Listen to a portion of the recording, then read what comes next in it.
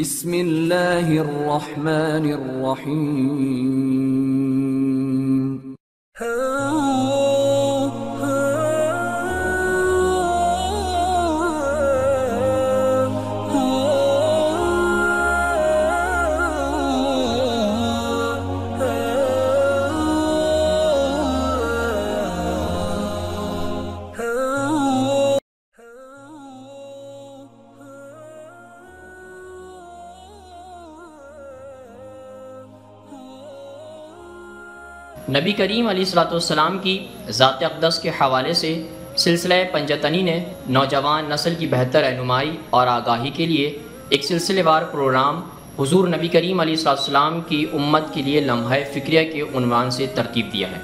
आज इस सिलसिले की अगली किस्त का हम आगाज़ करते हैं।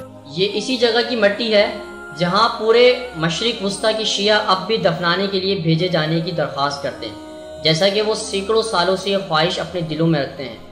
जहाँ कफन, पोश, लाशें, कभी खच्चर और ऊँट के ज़रिए लिपटे हुए कालीन की तरह मुंतकिल की जाती थी।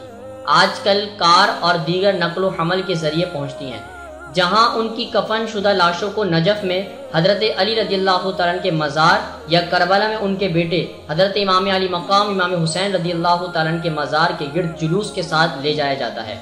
फिर एक वसी जुड़वा कब्रस्तानों में से एक जवामन की वादियों के नाम से जाना जाता है। उनके ख्याल के मुताबिक वहाँ दफन होने वाले लोग क़यामत तक हज़रत अली रदी तन और हज़रत इमाम हुसैन रदी तन के साथ उठेंगे।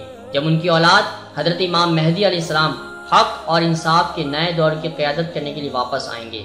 लेकिन अल्लाह के नबी अलैहिस्सलाम की वफात के बाद इन दिनों में हज़रत अली रज़ी रदी को सच्चाई और इंसाफ बहुत दूर दिखाई दे रहे थे।